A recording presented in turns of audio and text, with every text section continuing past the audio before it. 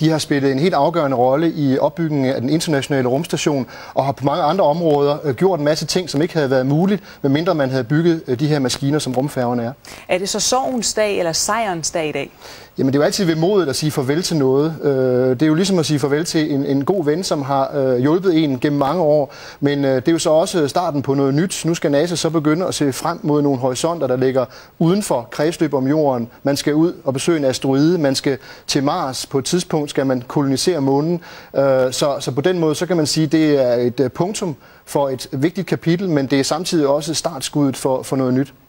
Og Marianne Albjerg, udover at vi sidder tre mennesker her i studiet, og der formentlig sidder nogle seere derude, hvor mange tror du så vil følge den her begivenhed i dag?